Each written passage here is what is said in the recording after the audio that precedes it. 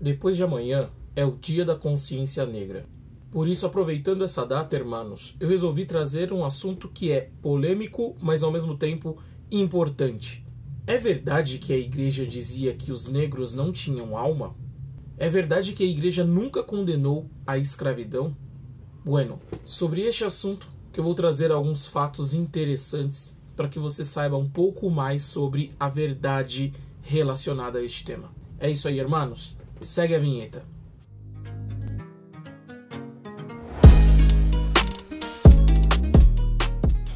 Que onda raça, você está em mais um vídeo do canal Catholic Cholo e neste vídeo vou falar um pouco mais sobre este tema polêmico, porém fundamental: a igreja e os negros. Seria a igreja, seria o cristianismo uma religião do branco europeu que é imposta aos negros? Ou na verdade os negros, os brancos e todos são a igreja? É isso que nós vamos entender neste vídeo, que eu vou dividir em algumas partes. A primeira delas, se é verdade que a igreja não condenou a escravidão, se é verdade que a igreja dizia que os negros não tinham alma, que a igreja não considerava que os negros tinham alma. O terceiro ponto é a história negra e a história da igreja, coisas diferentes, distintas ou uma e mesma coisa. Quarto ponto, a santidade e o povo negro, né, os santos negros. E por fim, a igreja na África, o continente da esperança. Este vídeo, portanto, irmãos, aproveitando a data da consciência negra que se aproxima, tem o objetivo de colocar um pouco mais de consciência na cabeça de algumas pessoas. Aí antes de iniciar, já aproveito para pedir se você gosta desse canal, se você não é inscrito ainda, se inscreva. Se você chegou aqui pela primeira vez, caso curta o nosso conteúdo, faça sua inscrição aí no canal. Aproveite e nos dê essa força para que possamos atingir a nossa próxima meta, que é a meta de 2 mil inscritos. E é isso, hermanos. Sem mais delongas, vamos para o conteúdo do vídeo. Bueno, chamacos, a origem ou o motivo pelo qual eu resolvi gravar este vídeo, ela se fundamenta bem lá atrás. Certa vez um programa da Rede Glóbulos, né, você tá ligado do que, que eu tô falando. Programa dessa emissora de TV, apresentado pelo Pedro Bial, programa intitulado Na Moral, né, o tema envolvia religião. Era a proposta era ser um programa polêmico, então reunia um pastor protestante, é, um babalorixá, um sacerdote católico e um representante da Associação Ateísta Brasileira, até um barato assim, e eu lembro que neste programa, né, em determinado momento, tocou-se no tema da escravidão no Brasil e o ateu ele, ele fez a seguinte afirmação: disse que a igreja nunca condenou a escravidão. E muito pelo contrário, a escravidão brasileira ela foi feita a mando da igreja. E ele disse até o seguinte, né, o padre em questão, acho que era padre Jorjão, se eu não me engano, ele até falou: Senhor padre, o senhor é negro, deveria saber disso. E o pior é que o padre ficou sem jeito de responder. O cara falou com aquele ar de sabichão e todo mundo comprou a ideia. Eu, inclusive, na época fiquei pensativo, né? Falei, caramba, né? Como pode? Não era. Né? Não, não estava na igreja, então, obviamente, que comprei, abracei a ideia como quase a grande totalidade das pessoas ali. Parece que até o padre, né, que pelo visto não conseguiu respondê-lo à altura. Inclusive, se você quiser ver né, o trecho, eu deixei aqui o link na descrição do vídeo para que você possa ver onde isso foi afirmado. E aquilo me ficou na cabeça. Muito bem, quase 10 anos depois eu resolvi trazer à tona esse assunto, justamente para trazer um pouco de luz aos fatos, né? um pouco de verdade aquilo que foi afirmado e que talvez prejudicou o entendimento de tantas pessoas. Muita gente repete ad nauseam, né? repete sem parar essa mesma história, sem de fato saber se ela é verdadeira ou não. Então eu trago aqui a resposta para você. É verdadeira ou não é? Não. Isso é uma mentira. Isso é uma mentira, é uma pantomima, uma patuscada. Bom, irmãos, para citar alguns exemplos do período né, da escravidão brasileira, né, da escravidão aqui nas Américas, ou seja, a escravidão negra, sobretudo, eu tenho aqui para vocês algumas citações de momentos em que a igreja condenou a escravidão. Lembrando também uma outra coisa, né? um breve comentário é que a escravidão não é apenas um acontecimento trágico com os povos negros, os povos africanos. A escravidão, infelizmente, é uma ação diabólica do ser humano que perpassa praticamente toda a história humana. A própria etimologia da palavra escravo, né, ela está relacionada ao termo eslavo, que, como sabemos, não são povos africanos, Bueno, mas isso já é uma outra história. A gente vai tratar aqui das condenações da igreja à escravidão. Teria exemplos eu para mencionar de períodos anteriores à escravidão brasileira e à escravidão nas Américas. Mas vamos ficar aqui apenas com algumas citações rápidas para você compreender que é mentira que a igreja mandou a escravidão acontecer ou que a igreja nunca tenha condenado a escravidão de seres humanos período anterior, inclusive, à chegada né, dos europeus aqui nas Américas e dos portugueses ao Brasil, no ano de 1462, o Papa Pio II condenou a escravidão de seres humanos como um grande crime. Já no ano de 1537, o Papa Paulo III, através da bula Sublimus Deus e também de uma carta encíclica Veritas Ipsa, condenava a escravidão. E em um trecho dizia inclusive que índios das partes ocidentais, os do meio-dia e demais gentes eram seres livres por natureza. Esse demais gentes se aplicam né, aos negros e demais povos gentios, né, como se entendiam, ou gentes. Em 1591, o Papa Gregório XIV publicou a Cum Sicut, que também condenava a escravidão. E assim, irmãos, eu poderia citar aqui uma penca de outros documentos que se opuseram à escravidão durante esses últimos séculos, mostrando que é mentira que a igreja tenha ordenado a escravidão ou mesmo que a igreja nunca tenha se oposto à escravidão. Então isso é uma tremenda de uma lorota. Agora, obviamente que infelizmente ditos cristãos participaram deste processo diabólico? Isso é verdade, mas não podemos dizer que a igreja, como corpo místico de Cristo ou como instituição mesmo dizendo, ela não se opôs à escravidão porque isso é falso. Certo, e aí nós já entramos no segundo ponto, né, que é dizer que a igreja dizia ou defendia que os negros não tinham alma. Esse então é o maior dos absurdos, e nós vamos ver o porquê, irmãos. Primeiramente, porque o negro ele sempre fez parte da história da igreja. Né? Este conceito, inclusive, de igreja que se tem é até, digamos que racista, de certa forma. Né? O conceito de igreja como uma instituição branca europeia que se impôs aos outros povos. Né? Isso é totalmente falso, até porque o conceito de igreja católica ele é muito mais amplo, como nós já vimos de uma forma indireta. Se você não assistiu ainda, eu deixo dois vídeos que eu já falei sobre a formação da igreja, né? eu pretendo dar continuidade, inclusive, a eles. Vou deixar aqui o card acima e também na descrição. Primeiramente, a igreja ela não é europeia, ela não nasceu na Europa, nós sabemos disso. Né? A igreja ela é oriental, ela nasceu no Oriente e de lá, né, através dos seus primeiros membros que eram semitas, no caso judeus, né, a igreja ela foi sendo levada aos povos, às gentes, inclusive dessas gentes também se encontravam os brancos europeus de diversas etnias ou de diversas ascendências, né? Porque a gente sabe que não era tudo uma coisa só. Né? Nós tivemos aí os povos romanos, né? os povos greco-romanos, nós tivemos aí na formação da igreja os povos bárbaros, né? No terceiro, quarto, quinto século. Então a gente tem uma formação muito diversificada. Inclusive a igreja da África que se formou também já nos primeiros séculos, né? O apóstolo São Marcos ele chegou a Alexandria no Egito que como sabemos os egípcios eles não são povos negros é, subsaarianos, mas são africanos e portanto não são povos brancos. Né? E ali se formou a igreja de Alexandria, que era uma das cinco grandes sedes da igreja nos primeiros séculos. Então, a partir dali a igreja se estendeu à Etiópia né, que, como sabemos, sim, é um, um, né, um, território de povos negros, e a igreja da Etiópia ela se formou já ali por volta do terceiro, quarto século, né, então por volta do ano 300, 400. Ou melhor dizendo, né, há indícios de anteriormente a isso nós já termos cristãos etíopes, que eu vou comentar brevemente em outro momento deste vídeo aqui.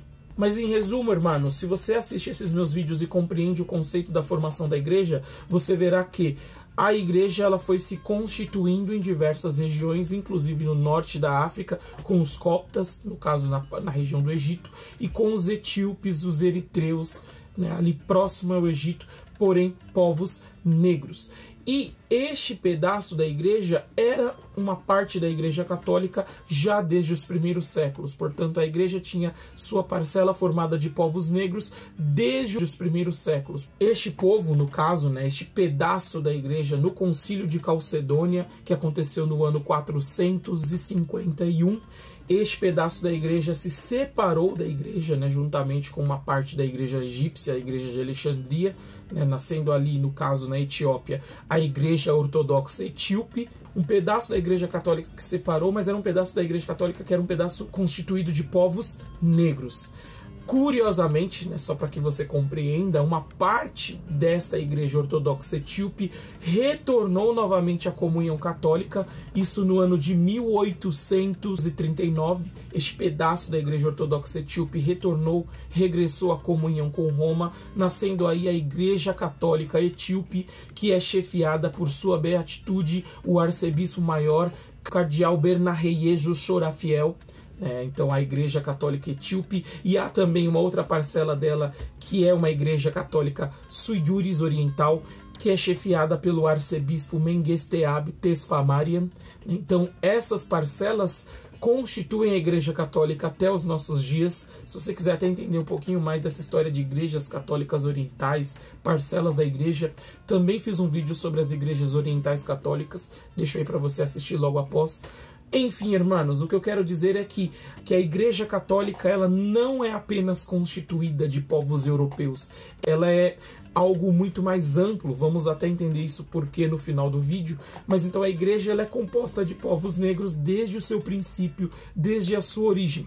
Como os negros poderiam não ter alma se eles, inclusive, sempre foram uma parte da Igreja Católica?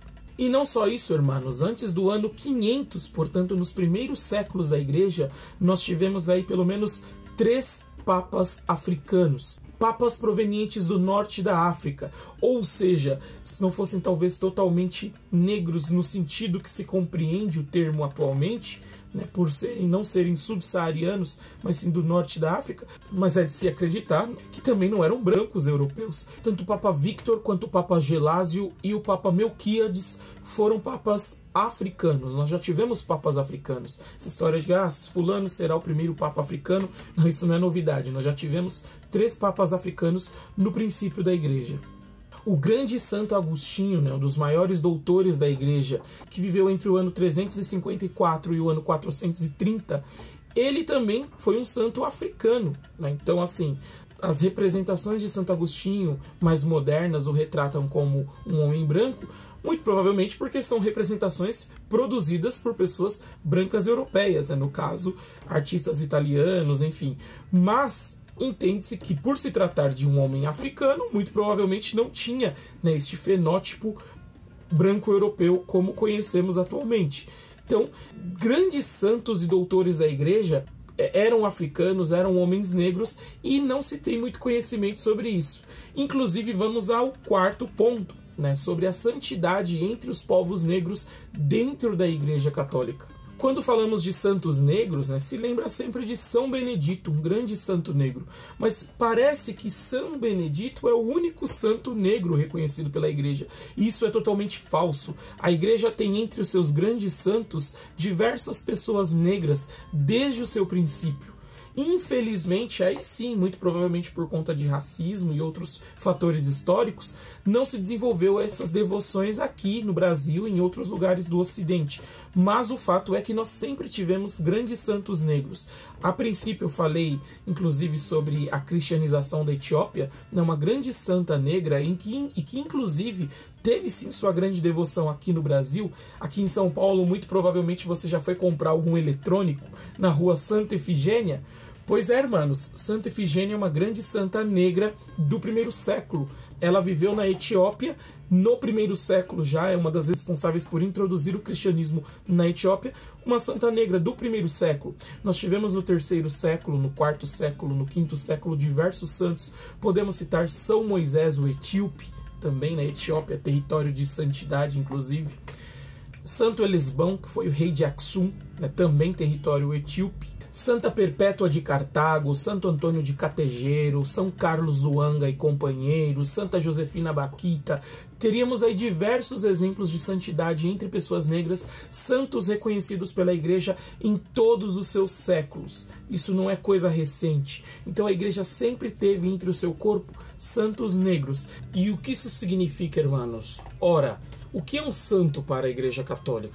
Obviamente eu vou fazer um vídeo mais explicativo a respeito do que é a santidade dentro do catolicismo, né? O que caracteriza alguém como santo, mas basicamente para você entender santidade, né? Ser considerado santo na igreja é o grau mais elevado de, de glória, né? Que alguém pode ter e de reconhecimento dentre os seus irmãos. Né? Isso, obviamente, que isso é concedido àquelas pessoas cuja virtude ela ultrapassa a normalidade. Né? Então, os santos são os nossos super-heróis. A molecada não admira o Batman, o Homem-Aranha, né? o Pantera Negra. Pois é, irmãos, o santo para nós católicos é justamente este ser que deve ser admirado, que deve ser imitado, que é o nosso exemplo a ser seguido, né? O exemplo de cristão, aquele que conseguiu imitar Cristo de tal forma que ele deve ser considerado um modelo para os seus demais irmãos de fé. É isso. Isso porque, irmãos, partindo já chegando, caminhando aí para o final, para uma das últimas justificativas né, deste nosso vídeo, a igreja ela não deve ser entendida como uma religião de pessoas brancas que impõem sua religião aos demais. A igreja católica ela sempre foi formada por povos de todos os tipos, de todas as etnias, de todas as raças, de todas as cores, de todos os lugares. O termo católico, inclusive, é um termo grego que significa justamente universal, universalidade, ou seja, para todos os povos, para todas as nações, para todas as gentes. Nosso Senhor Jesus Cristo, ele veio ao mundo para todos e todos fazem parte da mesma família católica. Se aconteceu de nós vermos essa representação né, muito mais relacionada ao branco europeu, ora, é porque a igreja construiu né, a sua sede em uma região europeia, no caso Roma, e dali em todo o seu entorno, né, a sede da igreja, os povos bárbaros europeus foram cristianizados e ali foi se construindo né, a maior parcela da igreja.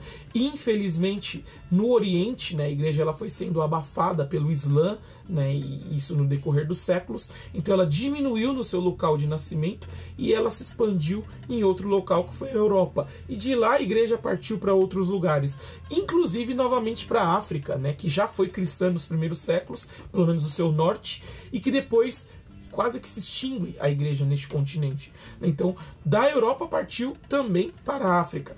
E é por isso que se tem essa concepção né, de religião europeia. Mas a igreja, na verdade, não nasceu na Europa. O cristianismo não é europeu e o cristianismo é de todas as gentes, de todos os povos. E com isso, irmãos, para que este vídeo não fique muito longo, nós vamos concluindo, inclusive mostrando que a igreja ela tem inclusive no continente africano né, sua grande esperança, porque a Europa, né, de onde a igreja saiu para o mundo para a evangelização, é onde hoje em dia a igreja praticamente está em decadência, né, está se extinguindo. Mas a grande esperança da igreja é a África, é o continente onde as pessoas mais se convertem, é o continente onde cresce cada vez mais a igreja, é o continente onde inclusive está o maior seminário né? Estou falando isso porque porque as vocações elas surgem cada vez mais na África e nós temos grande esperança que de lá venha a restauração da igreja. Bom, irmãos, eu finalizo este vídeo então dizendo que, né, neste dia da consciência negra, que nós também tenhamos essa consciência de que, como católicos, nós somos negros, somos brancos, somos amarelos, somos indígenas, somos asiáticos, somos qualquer povo, qualquer etnia, porque somos todos uma e mesma coisa: seres humanos, filhos de Deus, cristãos, membros integrantes, partes de uma mesma família. Somos católicos. Certo, irmão? É isso. Se você gostou deste vídeo, curta, compartilhe. Não deixe de comentar, de deixar um saludo aí, dizendo o que você está achando do canal. Estou trazendo aí algumas novidades, fazendo algumas perguntas. Sempre lembre de respondê-las nas enquetes, nos comentários, enfim. Fortaleça o canal Catholic Cholo para que nós consigamos atingir aí o nosso próximo objetivo, que são os 2 mil inscritos. Certo, irmãos? É isso. Um grande saludo a todos. Feliz Dia da Consciência Negra. Você está no canal Catholic Cholo e que viva Cristo Rei.